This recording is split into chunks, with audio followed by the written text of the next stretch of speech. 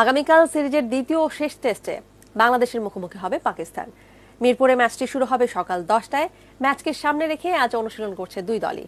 সবশেষ খবর নিয়ে মিরপুর থেকে যুক্ত হচ্ছেন সহকর্মী শুভদেবনাথ শুভ, নিশ্চয়ই শুনতে পাচ্ছেন আপনি আমাকে। চট্টগ্রাম টেস্টে কিছুটা আশা জাগিয়েছিল বাংলাদেশের টাইগাররা। আগামীকালের টেস্ট নিয়ে তাদের আত্মবিশ্বাস কেমন? আপনি সেখানে আছেন, জানাবেন নিশ্চয়ই। বাংলাদেশ ক্রিকেট দল যেহেতু পেশাদার দল, তাদের আত্মবিশ্বাস আমরা যতটা দূর থেকে দেখতে পারি, তাদের আত্মবিশ্বাস সবসময় একই থাকে, কারণ তাদের পরবর্তীতে আর একটি ম্যাচ খেলতে নামতে হয়। তবে সব, সবচেয়ে স্বস্তির বিষয় সাকিব আল হাসান ইঞ্জুরি কাটিয়ে দলে ফিরেছেন। তাসকিন খেলবেন কি খেলবে কিন- কিনা তাসকিন ছন্দে ছিলেন।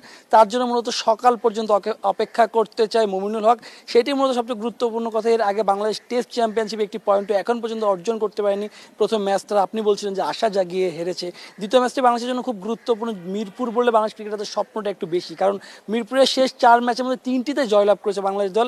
এরই মধ্যে বাংলাদেশ এবং পাকিস্তান দুই দলের অনুশীলন শেষ করেছে। তবে সংবাদ মাধ্যমের সঙ্গে কথা বলেছেন, এরপরে মমিনুল হক, তিনি জানিয়েছেন যে রাইট হ্যান্ড এবং লেফট হ্যান্ড কম্বিনেশনে কারণ সেভাবে তারা টিম করতে চায়, সেক্ষেত্রে মাহমুদুল হাসান জয়ের অভিষেক হওয়ার সম্ভাবনা বেশি এবং আরেকটি বিষয়ে সবচেয়ে বেশি সমালোচনা হয়েছে, কি জন্য নাইম শেখ দলে রয়েছেন। সেটি নিয়ে তিনি কথা বলেছেন যে যেহেতু আন্তর্জাতিক অঙ্গনে যেসব ক্রিকেটার খেলছে বর্তমান সময়ে, তাদের থেকে কাউকে চাওয়া হয়েছিল, মমিনুল সেটি চেয়েছিল, সেটি সেই সেই কারণে মূলত মমিনুল সেই কারণে দলে নেওয়া হয়েছে। নাইম শেখকে থেকে আরেকটি বিষয় জানিয়ে রাখতে চাই।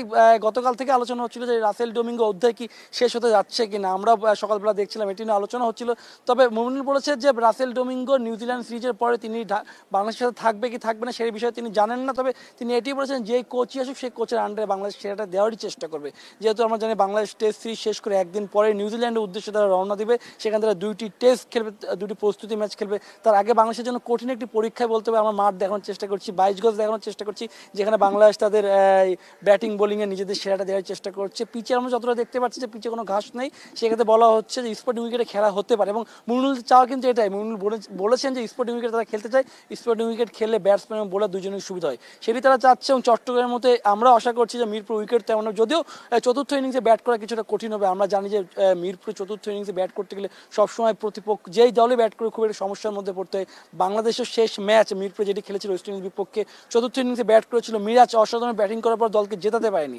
তারপরে যেহেতু বাংলাদেশ দলের জন্য আরেকটি সম্ভাবনা আছে, সাকিব আল হাসান দলে ফিরেছে, সে আত্মবিশ্বাস তারা দেখাতে চাইবে এবং টেস্ট চ্যাম্পিয়নশিপে তারা পয়েন্টটা ঘরে নিতে চাইবে। এদিকে আরেকটা জানার একটা দর্শকের বিষয় যে দ্বিতীয় টেস্টে কিন্তু দর্শক মাঠে মাঠে থাকবে, যদিও করোনা নতুন প্রকোপ এরই মধ্যে শুরু হয়েছে, তারপরেও দর্শকরা মাঠে থাকবে এবং সেই দিকে মূলত দর্শকরা নজর, মাঠে বসে খেলা দেখতে পাবে এদিকে বাংলাদেশ দল চারজন বোলার নিয়ে খেলবে তেমন সাতজন ব্যাটসম্যান থাকবে, রাসেল ডোমিঙ্গো কিন্তু এমনটি মুমিনুল হক এমনটি জানিয়েছে রাসেল ডোমিঙ্গোরও কিন্তু চাওয়া এমনই যে ব্যাটসম্যানদের শক্তিটা বাড়াতে, কারণ আমরা দেখেছিলাম যে চট্টগ্রাম টেস্টে শুধুমাত্র লিটন দাস এবং মুশফিকুর রহিম ছাড়া কেউ ঠিকমতো রান করতে পারেনি। যেহেতু ইয়াসির আলী রাব্বি ওই ম্যাচে ভালো ব্যাট করতে যাচ্ছিল, কিন্তু মাথায় বল লাগার কারণে তিনি শেষ পর্যন্ত মাঠ থেকে উঠে গেছে। তবে আমরা আজকে যতটা দেখেছি, ইয়াসির আলী রাব্বি নাও খেলতে পারে, কারণ তার ম্যাচ ফিট কিন্তু কিছুটা ঘাটতি আমরা দেখতে পেরেছি।